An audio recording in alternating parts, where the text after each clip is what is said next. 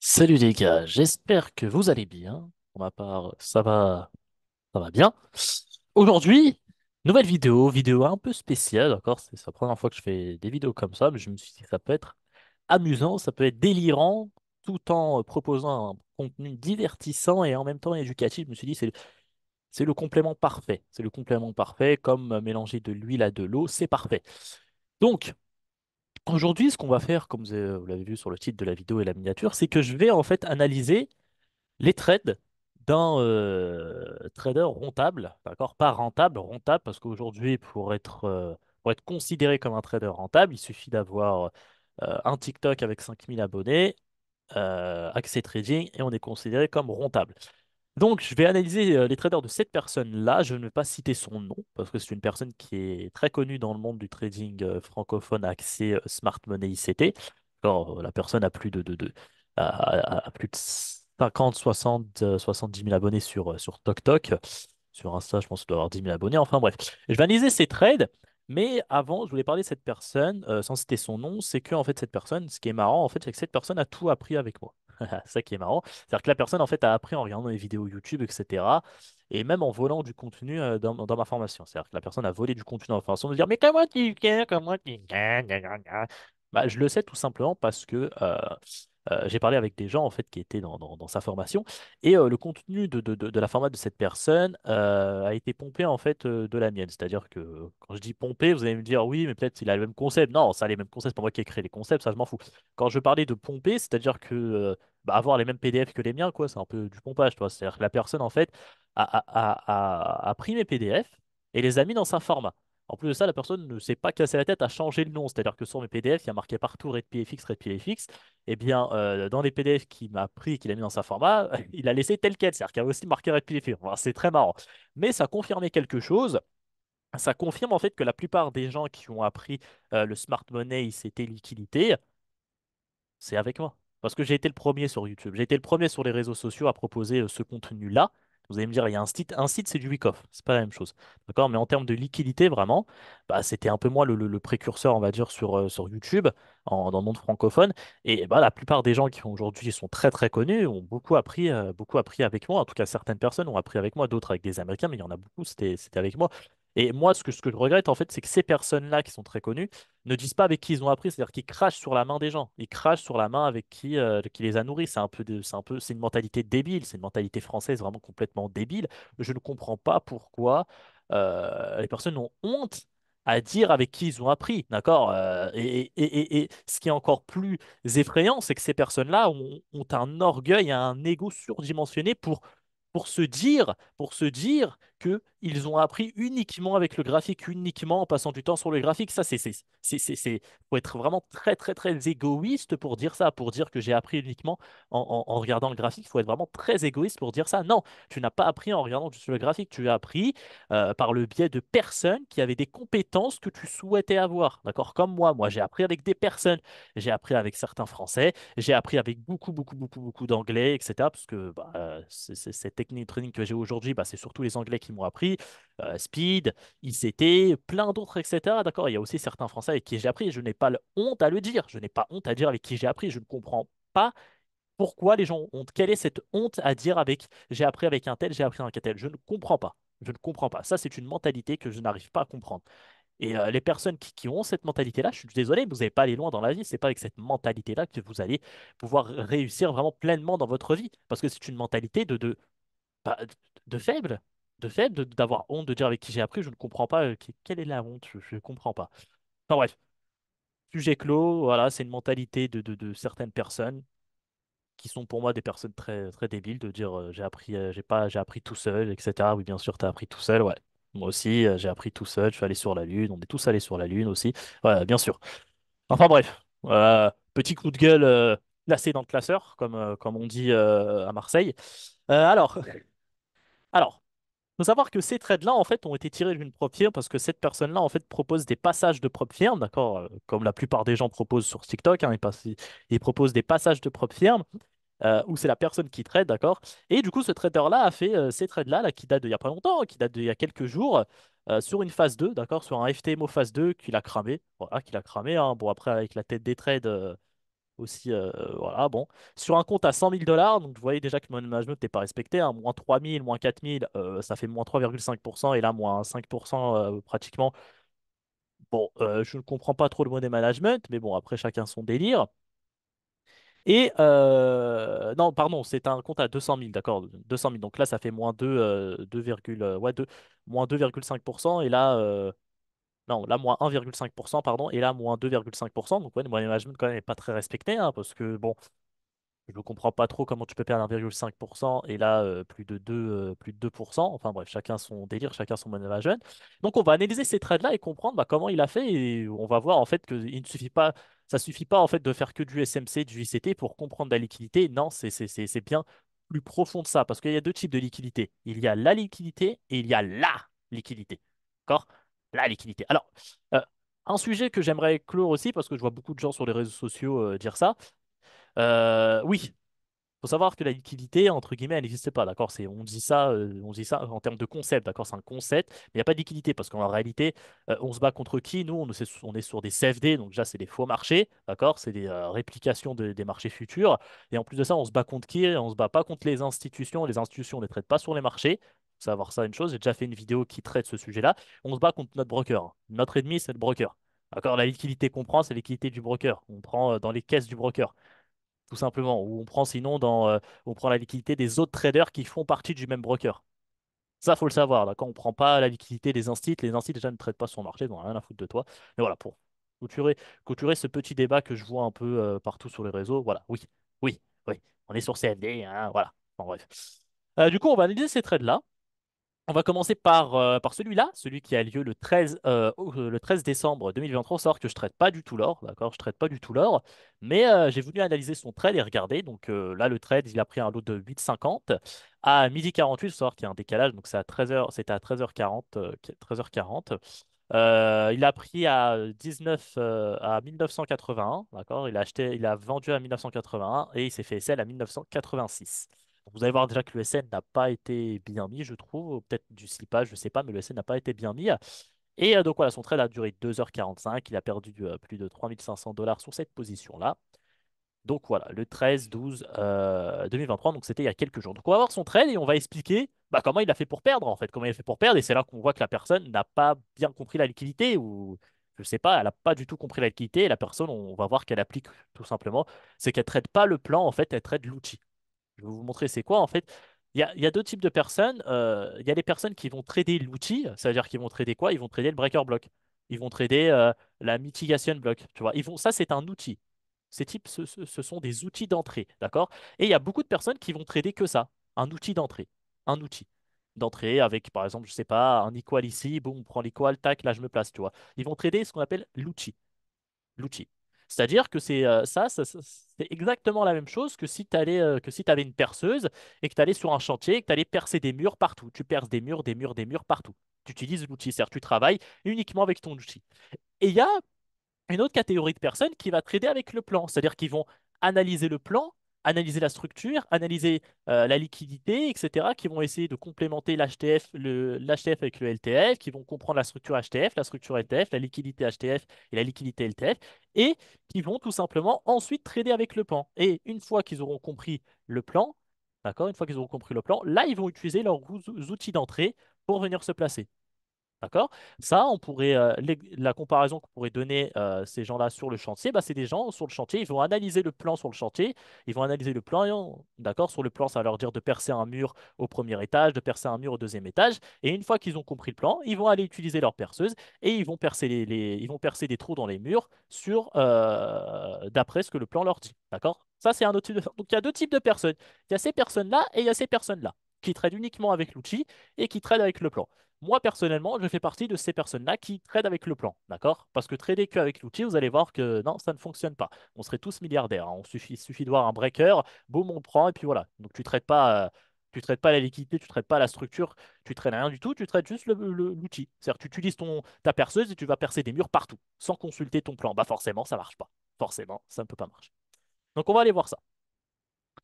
C'est parti. Hop. Alors, le premier trade de Monsieur, qui avait lieu, comme je l'ai dit, le 13 euh, décembre 2023. qui est celui-ci, d'accord? Donc je l'ai repéré, c'était un trade sur l'or en vente. Et du coup, là, j'ai essayé de faire l'analyse euh, de la personne, hein, d'accord? Donc je sais que c'est cette analyse-là qu'il a faite. C'était, c'est sûr et certain, d'accord? Cette analyse-là qu'il l'a faite. Donc il a fait cette analyse-là. Et du coup, ici, qu'est-ce qu'il a vu? Euh, bah, c'est simple, en fait, il s'est dit qu'ici, on avait l'Asian. On avait l'Asian qui était là. Il s'est dit que là, on vient prendre du coup euh, High. En prenant l'Asian High, qu'est-ce qu'on vient faire? On vient faire un breaker block. Ok, donc là, ça fait un breaker block. Donc ici, il s'est dit, ok, là, j'ai un break... on prend l'Asian High, j'ai un breaker block. Donc il s'est dit peut-être qu'on va devoir aller viser euh, l'Asian Low. Il s'est dit peut-être ça, on va viser l'Asian Low. Donc il s'est dit, ok, euh, breaker block, boum, on prend l'Asian High, tac, tac, tac. Hop, je vais trader ici, boum, boum. On est pendant la session, euh, l'ouverture de la session de, de, de, New York, 13h. Euh, bon, moi, pour moi, l'ouverture de la session de New York, c'est plus à 14h30 ou à 15h30. Mais bon, chacun son délire. hein. C'est pour ça que moi, j'ai un timing qui est à 14h30 et pas avant. Donc, bref, il a pris ce trade-là sur le breaker block. Il s'est dit Asian High, prise de liquidité. Breaker block, boum, on prend, tac. Et là, il a pris son trade ici sur le PY du breaker block. Donc, juste ici, tac, boum. Et donc, bah, qu'est-ce qui s'est passé? Bon, déjà, première interprétation, c'est que la personne, déjà, euh, je ne sais pas où que la personne se place à BE. Parce que là, euh, chez moi, ici, tu te places à BE là. Chez moi, tu te places à BE à la cassure, euh, à cassure du, du, du-. Donc là, à la cassure à un BOS. Du coup, moi, personnellement, je me place à BE à un BOS. Donc là, en vrai de vrai, il aurait même pas dû SL, il, aurait dû BE. Bon, après, chacun son modèle jaune, comme je l'ai dit. Mais moi, en tout cas, moi, ici, si j'avais pris le même trade que lui, bon, j'aurais jamais pris le même trade parce que euh, heureusement que euh, j'ai bien, euh, je trade, heureusement que je trade avec le plan, donc ce trade-là, jamais de la vie je l'aurais pris. Mais imaginons que je l'aurais pris, je me serais placé à BE ici à la cassure, donc j'aurais pas pris un SL ici, j'aurais évité un SL. Mais la personne ici, non, obstinée, s'est dit ça va passer, ça va passer, c'est dur. Donc après, peut-être que la personne se place à BE plus tard, je sais pas, d'accord? Bon, j'utilise un peu un ton un peu sarcastique pour, pour on va dire, euh, donner un peu d'humour à la vidéo, bien évidemment. Mais il faut savoir que je n'ai rien contre cette personne-là. Cette personne-là est euh, soi-disant rentable, je n'ai aucune idée, d'accord, mais à ce qui paraît, elle est rentable, etc. Donc moi, si quelqu'un me dit je suis rentable, j'y crois, bien évidemment, je ne remets pas en question. Voilà, donc euh, ceux qui disent ouais, je suis un peu insolent, c'est un peu, c'est juste pour animer un peu la vidéo, hein. Voilà, bref. Et donc la personne, non, s'est dit que ça va passer, ça va passer. Et bah là, bah du coup, comme on l'a vu, la personne ici est sortie un peu tard. hein. Vous voyez que je pense que son SL était à 1%, mais à cause du slippage, parce que je pense qu'ici, vous voyez ce buy to sell là, je pense que c'était ici cette grosse bougie acheteuse. Je pense que c'était dû à une annonce économique et que la personne ici a laissé son trade, c'est pas mis à BE, a laissé son trade et vu bah, avec l'annonce économique, ça s'est propulsé vers le haut. Et du coup, au lieu de le sortir ici, ça l'a sorti euh, à 19,86, donc ça l'a sorti, ça l'a sorti tard, ça l'a sorti tard, ça l'a sorti ici, quoi. Voyez? Donc ouais, à cause du slippage. Donc comme quoi, euh, donc comme quoi la personne, je pense qu'elle avait sûrement mis son SL ici, mais euh, avec le slippage et l'annonce économique était très forte, bah, la personne est sortie largement plus tard. Donc euh, voilà, c'est dommage. Donc voilà son trade. Là, je suis désolé, mais c'est un trade où la personne n'a pas consulté l'HTF. Impossible parce qu'on va voir après, on va voir la résolution de ce trade-là et on va voir les, les, les, vrais trades qu'il y avait à prendre, on va, les voir. Bah, la personne ici n'a pas analysé l'HTF, elle n'a pas du tout analysé l'HTF. La personne a tradé uniquement en une seule time frame, c'est-à-dire qu'elle a utilisé uniquement le 3 minutes et le 1 minute. Elle s'est focalisée sur le 3 et 1 minute, donc sur le LTF. Forcément, c'est pas le LTF qui va te dire où le prix va aller, c'est le HTF qui va te donner le biais, mais bon, ça c'est une autre histoire. Et là, la personne a, a- tradé uniquement avec l'outil. C'est-à-dire, elle a vu un breaker block en euh, 3 minutes, elle s'est dit, allez, on le prend. Donc, c'est une personne qui trade uniquement avec l'outil. Sur ce trade-là, en tout cas, la personne n'a pas consulté de son plan, elle a tradé avec l'outil. Donc, c'est comme, c'est équivalent d'aller sur le chantier, de, de prendre sa perceuse et de euh, percer un mur n'importe où, sans consulter son plan. Forcément, bah, ça marche pas. Ça marche pas. Forcément, ça marche pas. Et forcément, le marché, il va venir euh, il va venir te sortir. C'est comme ici. Si tu perces un- si tu vas sur le chantier, tu prends ta perceuse, tu vas sur le chantier, tu perces un mur euh, n'importe où sans consulter ton plan, et bah ton chef, il va venir et il va te casser la gueule parce qu'il va te dire là, tu fais de la merde, pourquoi tu perces un trou ici alors que le plan te disait de percer un trou au moins un? Et là, tu perces un trou au, euh, plus 5. Ça n'a aucun sens. Bah, c'est la même chose. C'est une personne qui trade sans consulter son plan. Donc forcément, forcément, ça ne marche pas. Forcément, ça ne marche pas. Donc, on va voir, on va voir la résolution du coup de ce trade-là et on va voir bah, du coup son erreur déjà. Déjà, on va voir son erreur. Donc, la première chose à faire, moi, c'est que je suis parti.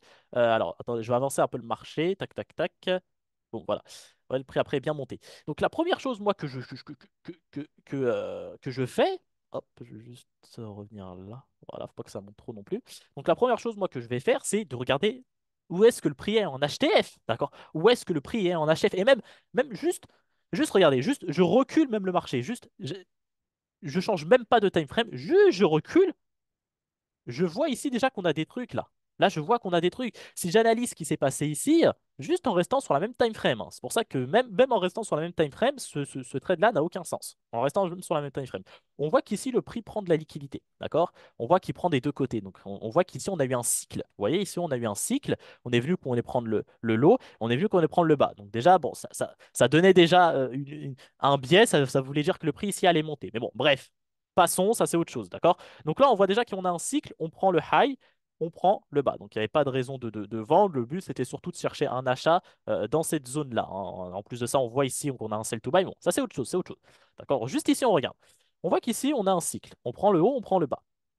On voit qu'ici, on a des zones qui n'ont pas été mitigate. D'accord? Alors les zones qui n'ont pas été mitigate, c'est laquelle? Donc on voit qu'ici, ça, cette zone-là a été mitigate par ça. Mais on voit que cette zone ici n'a pas été mitigate. D'accord? On voit que cette zone-là, elle n'a pas été mitigée. On n'est pas venu sur cette zone-là. Et ce et ce qui est bien sur cette zone-là, c'est qu'on voit qu'en plus, on a de l'inducement ici. Vous voyez, on a de l'inducement qui est ici. Donc, je ne comprends pas pourquoi la personne n'a pas attendu en fait à ce qu'on vienne réagir dans cette zone-là de liquidité. Parce que là, si on va en, une minute, on voit que le prix ici est venu prendre de la liquidité, des inducements pour ensuite chuter. Donc, c'est une zone valide. Li- Là, ici, on suit la structure algorithmique, on suit, euh, on fait ce qu'on appelle du follow the money, d'accord? On suit l'argent. Voilà, c'est cette zone-là sur laquelle le prix doit venir réagir. En plus de ça, tu vois qu'ici, tu as des inducements. Tu as un inducement qui est super intéressant. Tu as ici des BPR, d'accord? Tu as des BPR, tu as des balances, tu as tout qui est là. Donc, euh, pourquoi ne pas avoir attendu ici? Et là, du coup, si tu avais attendu ici, tu vois qu'ici, on a quoi? On a un super buy to sell qui vient liquider tout le monde, d'accord? Qui vient liquider tout le monde. Et donc là, tu aurais sûrement eu une opportunité ici. Si on va en une minute, on va regarder. Là, si tu aurais voulu vendre, d'accord, même si le biais ici était aussi ce qu'on va voir après, si tu aurais voulu, vendre, et ben là, tu vends ici. Tu vends ici, je sais pas, bref, euh, peut-être que toi tu vends, on va dire sur la dernière zone, je sais pas. Tu vends ici, ok? Tu vends ici, tac, et là tu cherches un trade. Et là, bah là par exemple, ton 5R ici, tu l'as. Tu as ton 5R ici par exemple, tu vois. Donc là, tu avais déjà un trade ici. Tu avais déjà ton trade qui était là. Si tu avais juste analysé bien la liquidité, juste compris la structure algorithmique LTF, hein, là on parle même pas de l'HTF, hein, on parle uniquement du LTF, tu aurais évité cette, euh, ce, SL bête, ce SL bête qui, qui, qui, qui- où tu es tombé dans un trap parce que t'as même pas eu, t'as pas eu en fait l'audace, t'as t'as pas eu. Je comprends pas pourquoi en fait la personne est restée ici. T'avais juste à reculer la molette de ta souris et regarder ce qui se passait juste ici. Et juste ici, tu vois bien le plan. Tu vois que la prochaine zone sur laquelle le prix pourrait venir réagir, c'est celle-ci. En plus, tu as un inducement qui est là. Donc, je n'ai pas compris. Là, c'est une erreur bête. Ce, ce SL-là, non. Ce SL-là, c'est que tu n'as pas du tout tradé avec le plan. Là, tu es resté comme ça. C'est-à-dire que ton, ton écran, il était que comme ça, ton écran. C'est-à-dire que tu voyais pas ce qu'il y avait dans le passé. Tu n'as pas juste fait ce- cette petite action-là, tu l'as pas faite. Tu es resté là. Et tu as dit, oh, breaker block, euh, Asian high, boum, je trade. Voilà. Ah non, ah non, ça marche pas. Non, ça marche pas. Ça marche pas. Ça marche pas. Et donc là, tu avais juste besoin de juste, juste reculer comme ça, juste reculer un peu. Et là, tu vois que là, bah non, c'était ici, là, ok, là j'ai un buy to sell qui est magnifique, ça vient liquider ça, ça revient dans cette zone-là, ça liquide ce, ce, ce- ce trap-là, parce que tu vois que ça c'est un trap. Ça, c'est un breaker trap. hein. Ça, c'est un breaker trap. Breaker trap et on est venu le prendre. Et là, du coup, bah, si tu comprends ça, tu comprends la liquidité, la structure algorithmique, les cycles algorithmiques, tu vois que là, tu as un buy to sell, boum, et là, tu chopes ton trade ici. En plus, tu attends 14h30, tu avais une grosse annonce à 14h30. Pourquoi s'obstiner à prendre un trade avant? Non, le prix, qu'est-ce qu'il va faire avant une annonce? Il va accumuler avant une annonce. Et lors de- lors de l'annonce, il va venir liquider l'accumulation qu'il a faite juste auparavant. Donc déjà, pourquoi avoir tradé avant une annonce économique? Non, trade après l'annonce économique. Et là, tu vois, tu as un buy to sell, tu as ton BPL ici, ton breaker, tu rentres là, boum, et tu as ton 5R là. Là, tu as déjà un trade. Du coup, tu as déjà un trade tu as déjà un TP. Moi, si j'étais ici, j'aurais pris ce trade-là déjà. J'aurais pris ce trade-là en vente et par la suite, j'aurais pris un achat. Parce que cet achat, cette montée-là, vous allez voir que c'était un très bel achat à prendre. Un peu technique à comprendre, mais si tu comprends la liquidité et que tu analyses le plan, cet achat-là était possible à prendre. Donc déjà, premier trade. Premier trade, le voici, le voilà. Voilà. Le voici, le voilà. C'était le premier trade à prendre qui était ici. Hop. Juste en reculant le marché. On n'a même, même pas fait de l'HTF, pour vous dire. On n'a même pas fait de l'HTF. Maintenant, on va aller regarder. Hop, euh, on va le laisser, je vais le laisser là. On va aller regarder ce que nous dit l'HTF. Donc moi, je commence toujours.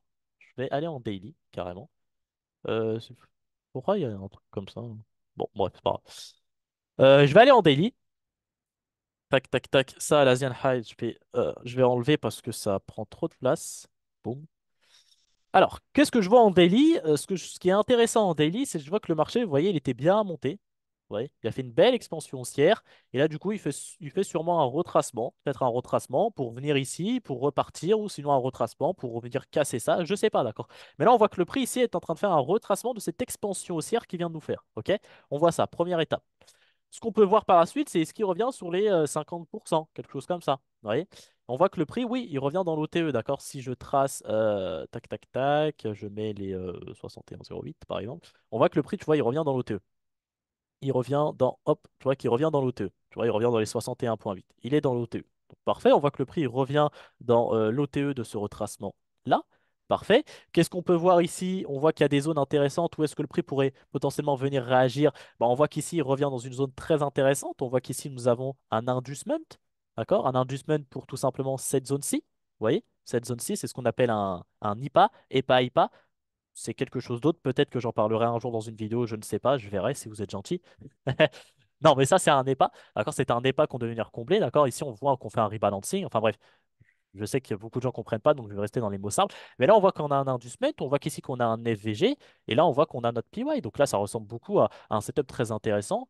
Euh, tout simplement avec ça, vous voyez. Tac, tac inducement, boum, le prix vient ici, boum, il part. D'accord? Donc ça, c'est un HTF. Et vous voyez que c'est le prix ce qu'il a fait. hein. Venu prendre l'inducement, il est revenu réagir dans sa zone, boum, il est parti. Vous voyez? Donc, concept simple, concept d'inducement, etc. Concept simple, j'ai fait énormément de vidéos euh, à ce sujet sur ma chaîne YouTube. On voit ça, ok? Donc on va essayer de raffiner en 4 heures. En 4 heures, on voit qu'on a de nouvelles choses. On voit qu'on a un autre inducement qui est plus là. Hop. Un inducement qui est plus ici. Je vais mettre ça en non. Tac, tac, tac. On peut raffiner la zone, d'accord, en la mettant même ici. Hop. Tu vois ou même sur la dernière bougie baissière avant la, hausse. Parfait. On peut essayer de raffiner encore en une heure. Hop. Et en une heure, bon bah c'est déjà bien. On voit que l'inducement vraiment visible, c'est plus celui-là. On voit qu'on a un breaker ici, très intéressant.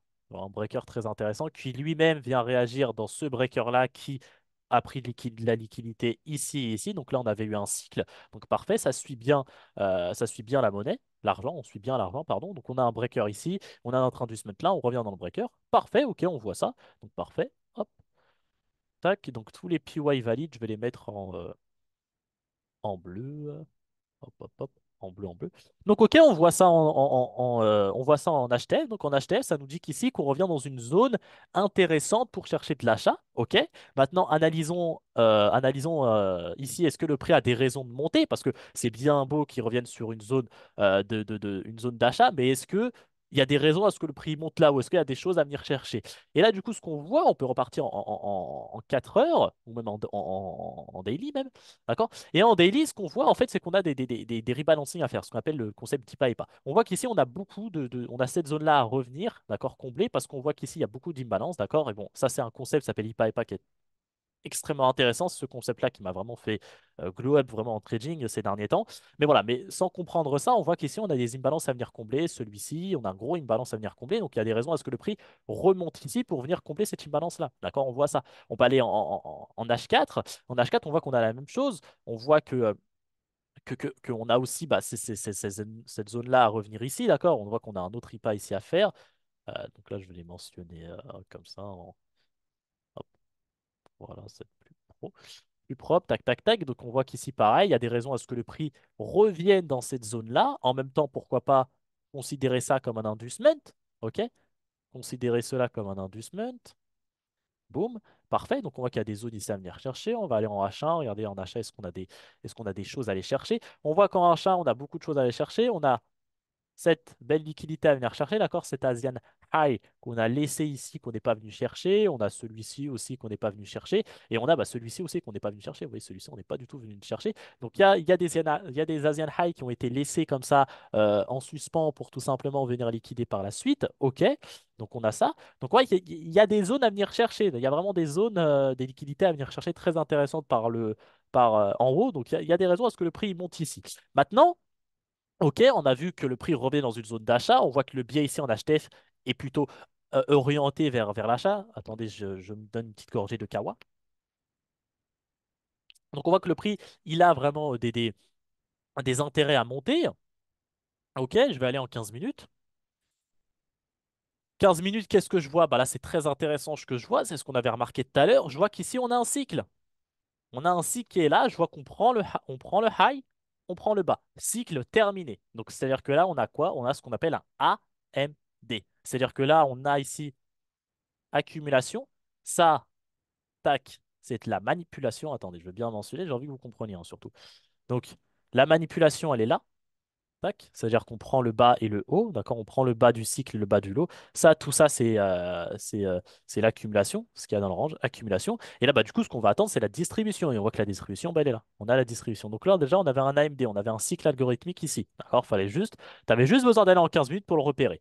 Ce qu'on voit qui est très intéressant, c'est qu'ici, en prenant le bas, en prenant le bas, on prend ce qu'on appelle le Previous Daily Low, on prend le PDL, Previous Daily Low, tu vois que c'était le lot, euh, bah, c'était le lot d'hier, tu vois, de lundi, hop, mardi, on prend le lot de, lundi. Déjà, juste ça, ça devait te donner déjà une indication.